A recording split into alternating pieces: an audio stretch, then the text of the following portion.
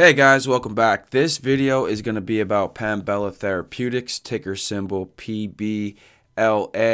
This stock had came across my screener today. I have to admit, I am not invested. I do not have any positions in this company and I have never heard of them before. So I figured I'd give it a look and see what's going on.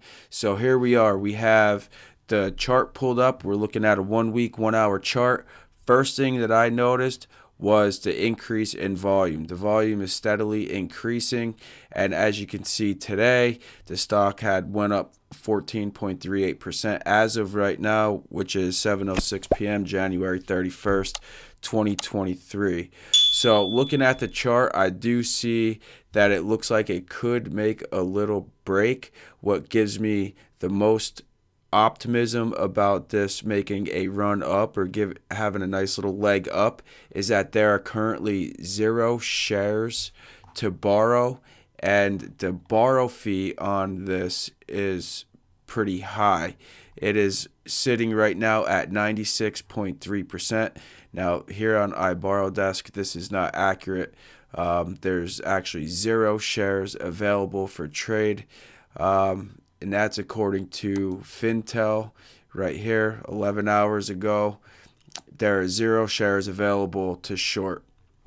So, without any shares available to short, with having a low float, this stock is primed to have at least a decent leg up and retest up here at uh, 315 um, I'm not saying it's going to run up to 315 tomorrow or later on today, but what I'm saying is it's going to follow its trend back up and it will retest in at least around the $3 range. So if you have not heard of Panbela Therapeutics and you have no idea who they are, I'm going to give you a quick rundown because I did spend a couple minutes here looking at them. So this is Panbela Therapeutics website, panbela.com. This right here is their pipeline, and it seems from what I got out of it is their their their core function right now is um, to do with pancreatic cancer. I know they had just applied for orphan drug designation in the European uh, Union, and the European Medicines Agency had granted that to them, which is obviously a promising sign. They had good phase one data that they had released. Here's some headlines that had came out recently, um, and you could read them as we go down. But what what I really am encouraged about is there are currently two there are two analysts that are covering Panbela Therapeutics, and um, one has a $10 price target. The consensus price target is $5. Um, so there is plenty of room to run. What I want to point out here is how they had just done a $15 million public offering. I had looked and they had done a reverse split and a public uh, and another offering back in I believe it was November of 2022.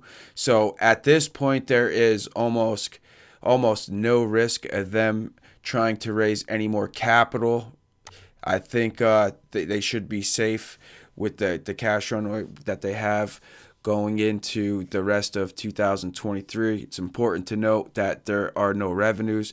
They are still in the clinical research phase. So after all that, if you decide to play PBLA, Panbela Therapeutics, and you decide to take a dip your toes in, I would set a stop loss at around 141, and then you could look to hit your first price target at 201, going up to 215 and then 277.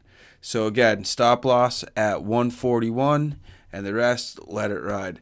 Anyways, thanks for listening. I appreciate it. If you have any questions, comments, or concerns, please leave a comment below. Give this a like. I'd appreciate a follow and a subscribe. And as always, be smart, be wise, and we'll see you the next time.